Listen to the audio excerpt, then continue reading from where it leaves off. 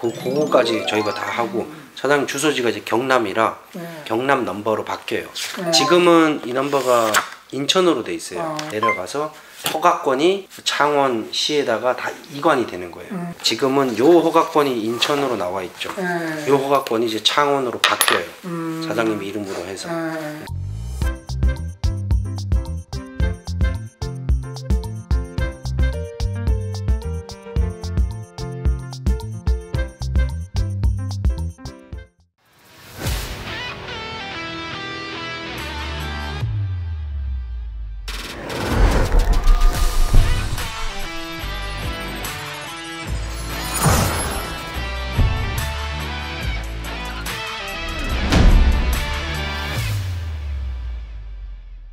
뭘 줘?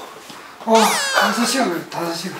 아 고생하셨어. 아유, 다섯 시간이요? 다섯 시간. 엊그제는 더 멀리서 거제에서 오셨네. 거제, 거제.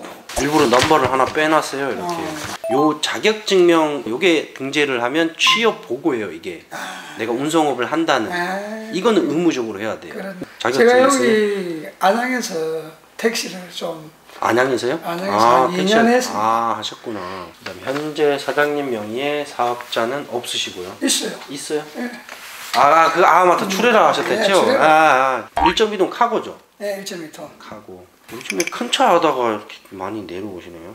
출애라는 오래 하셨어요? 출애라 많이 안 했어요. 한 5년 했는데 스트레스 음. 너무 많고 네. 하, 너무 힘들어요.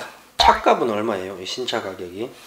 신차 가격이 1.2 cargo인데 그래 비싸요? 아 제일 좋은 옵션. 제일 좋은 거. 어. 그, 저희가 내려가서 접수하고 인허가 신청을 하고 기다렸다가 허가 떨어지면 넘버 달린 차 네. 제가 드린 차 넘버 통째로 사장님 명의로 이전을 해요 음, 이전을 하면 차는 산 게 아니에요 요 달린 그렇죠, 차는 차는 산 네. 다시 차는 그 매도용 인감 있죠 네. 그거 제가 인적사항 알려드리고 한 통을 받을 네. 거예요 어.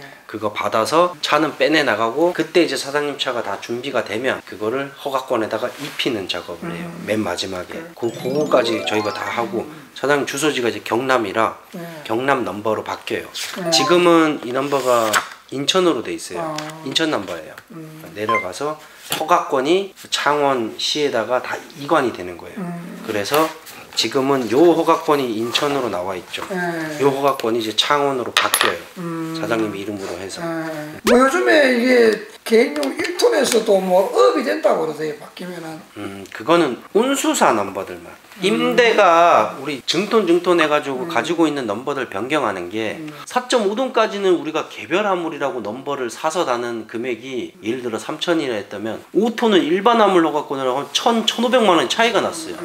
그래서 축 달고도 증톤을 안 했단 말이에요. 그때 당시에. 이제 개별은 바뀐 게 뭐 1.5톤부터 16톤이고 내려갔다 올라가는 거는 운수사 때는 0.5 라보부터 10톤까지예요. 개인은 관계가 없고. 여기 보면 접수 접수 이게 공문이에요. 응. 여기 나오면 이제 아 정상적으로 내 이름으로 접수가 됐구나. 허가 떨어지는 날짜하고 음. 부서하고 다 나와 있어. 이거 공부 조작을 못 해요. 이거는 전화번호 다 나와 있잖아요. 끝나고 해야 될 게 여기는 이전 과정을 여기다 적어놨어요. 한번 읽어보시면 되고 여기 이전은 저희가 다 해드릴 거니까. 네 문자 보낸 거 있어요. 그 매도용 인감 있잖아요. 빠져나갈 그 인적사항 보내놨으니까 뭐 내일이든 모레든 시간 되시면 자동차 매도용 인감 발행하러 왔습니다. 그러면 적으라 그래요. 요거 사진 보내 요거 보여주면 공문 보내주면 컴퓨터로 찍어줄 거예요. 중간에 진행하면서 궁금한 거 있으면 전화 주시고요. 용달 용, 시장하는 용품 어떻게 싸게 파는 데 있습니까? 뭐. 좀. 여기 놓고 시흥 쪽에 있는데 굳이 이거 사들고 또 내려가야 되잖아요. 근처에 사시는 게 안 나요. 아, 그래 혹시 이 근처에 있는가 싶었어. 아, 이좀 거리가 좀 있어요. 에, 요거는 접수증 드리면 금요일 날 나오신다니까 목요일 날 뭐 접수하고 뭐 하면